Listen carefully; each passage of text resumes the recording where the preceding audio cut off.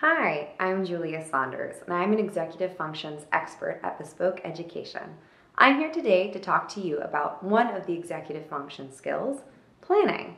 I'm going to give you my top strategies that I've developed with my students in order to become more effective at completing assignments and more effective as a person in general using these planning strategies. So, my first strategy I'm going to talk to you about is how to break up a big assignment into smaller tasks and then put that in a list in order of how you need to get it done. Seems pretty straightforward. Let me just talk it through with an easy example that we'll be using throughout this series, the essay. So, a lot of times when I'm doing this with students, they think, hmm, okay, tasks for an essay. Let's see, I need to brainstorm, I need to write an outline, I need to write a draft, I need to edit, and then I have my final draft.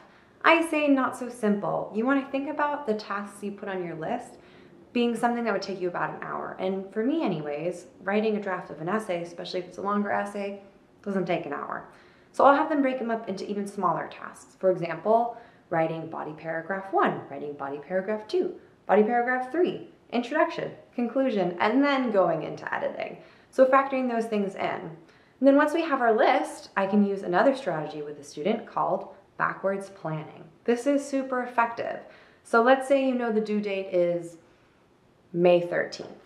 You can work backwards from that date, planning each individual task so that it leads up nicely to the deadline.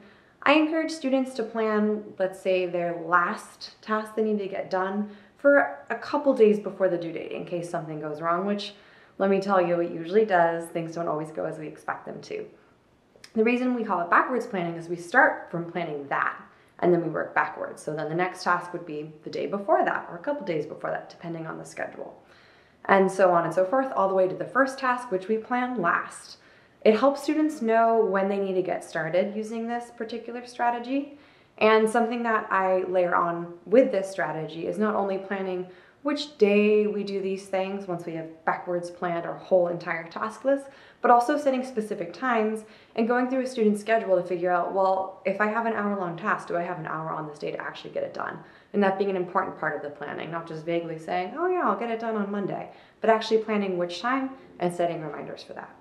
With those three strategies, making a list, backwards planning, and setting a time, you should be able to knock that essay out.